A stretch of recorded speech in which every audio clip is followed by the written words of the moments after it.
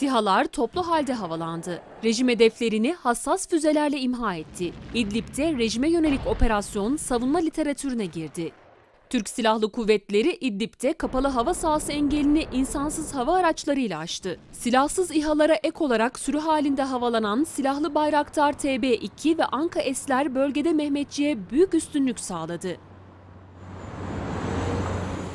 Hava unsurlarının çok yoğun bir şekilde kullanıldığı bir strateji sahaya sürüldü. Öyle bir noktaya getiriyor ve karşı e, güce, karşı rakip güce, düşman güce nasıl tarif ederseniz öyle bir e, yöntem kullanarak ve tırmandırma siyaseti izliyorsunuz. Karşı taraf bu tırmandırmanın üzerine çıkacak ölçüde sizi hedef alamıyor veya sizi hedef almaktan çekiliyor.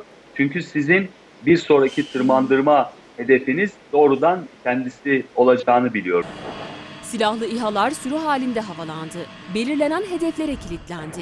Topçu birlikleriyle koordineli bir şekilde İdlib ve Halep bölgesinde stratejik hedefler tek tek imha edildi.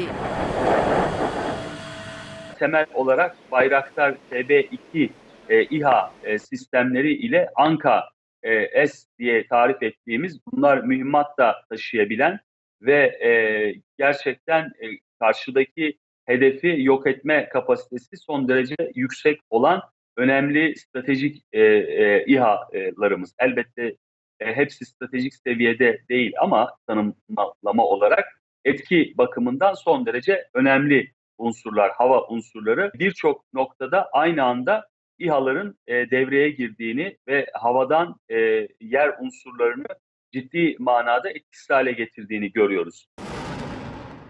Etkili harp başlığına sahip SİHA'larla yapılan hava taarruzları Mehmetçiğin karadan gerçekleştirdiği operasyonlarda elini güçlendirdi.